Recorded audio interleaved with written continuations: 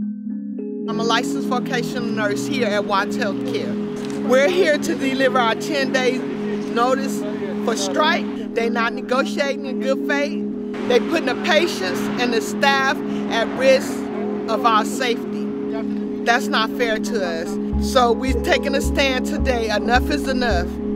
This morning, Watts workers are going to be joined by community members and we're going to deliver the 10-day notice. Day in and day out, Watts workers have put their lives on the line to provide much needed care to their patients and to their community. Instead of working collaboratively with Watts employees to invest in the frontline services this community depends on, Watts management has spent thousands on union busting consultants and dragged negotiations to a virtual standstill. Our all-female bargaining team has been forced to endure threats and downright disrespectful treatments for the Watts negotiator.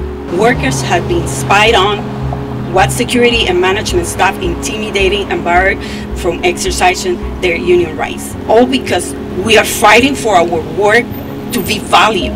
Watts management have refused to say how they spent millions received from federal government. Patients and workers deserve to know how funds is being spent and managed. Many of us already is at poverty level. Even though we work full time, some of my coworkers literally have to choose between paying for health insurance or other bill of feeding their kids. The management of the Watts Health Center should be ashamed of themselves.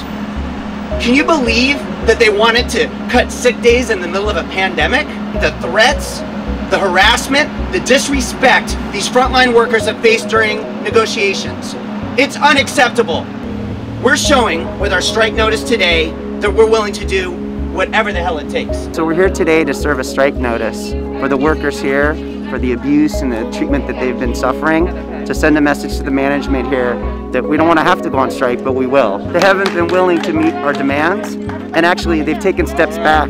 So this is our 10-day notice hope we can come to a resolution, but we're taking this real seriously, and I'm here to support these workers. For them to drive the workers to this place now is, is, unfortunate, but we will survive, and the workers will fight, and we will overcome because the community will be behind them. Enough is enough. It's time to strike. What do we want? When do we want it?